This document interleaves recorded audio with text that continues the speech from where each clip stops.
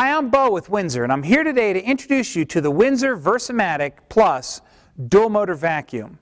The Versamatic Plus offers dual motor power with long-lasting dependability. One of the interesting things about dual motor vacuums is that they're actually more productive than their single motor counterparts. In fact, if you take a dual motor vacuum and a similarly sized single motor vacuum, the dual motors are about 15% more productive.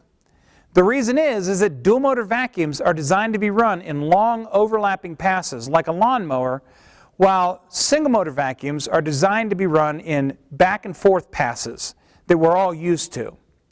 In fact, if you took a 4,000 square foot area, vacuumed it five days a week for a year with a single motor 12 inch upright, and then you took an 18 inch dual motor upright and vacuumed that same 4,000 square foot area five days a week for a year, do you realize that you would save 208 labor hours per year, four hours per week, by switching from a 12-inch single motor upright to an 18-inch dual motor upright? Let's begin our look at the Versamatic Plus by taking a look at the power head. You'll need to start by removing the power head from the body of the vacuum. To do that, turn the switch clockwise and remove the body from the power head. One of the new features on the Versamatic Plus is a redesign of the foot pedal. This redesign allows the foot pedal to release from the neck and keep it from damaging the neck in case the machine is dropped. Another improvement is that the brush strip access now requires no tools. To release the brush strip, all you'll do is press this button and remove the cover by sliding it straight out. This allows you full access to the brush strip for changing and replacing. On the bottom of the Versamatic, you'll find four rubber-coated wheels which provide superior stability when vacuuming. Additionally, you'll find an access port which allows you to access and clean out the air channel that transports debris up into the neck and ultimately into the body of the vacuum. On the front of the Versamatic Plus, you'll find a check brush light and a brush OK light. As long as the brush OK light is on, your vacuum is adjusted and operating properly. If the orange check brush light comes on, it means your vacuum is either not adjusted to the correct height, something is impeding the brush, or the brush simply needs replaced. If the orange check brush light comes on and there's no debris blocking the brush, you'll need to check to make sure the brush is still in good working order. To do that, take a credit card, driver's license, or in this case, a hotel key, and run it down the faceplate.